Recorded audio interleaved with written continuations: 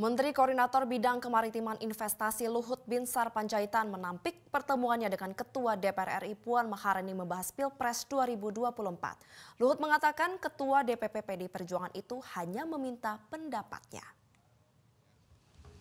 Hal itu diungkapkan Luhut usai mengikuti rapat terbatas di istana pada Rabu siang. Namun Luhut tidak mau membocorkan tentang apa pendapatnya itu. Ketua Dewan Penasihat Partai Golkar itu menegaskan pertemuannya dengan Puan tak ada kaitannya dengan Pilpres. Sebelumnya, Puan Maharani bertemu dengan Luhut Binsar Panjaitan beberapa waktu lalu.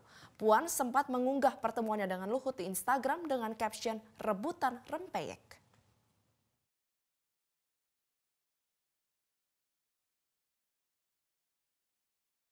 Pemilu. Enggak juga. Kita bicara banyak apa ya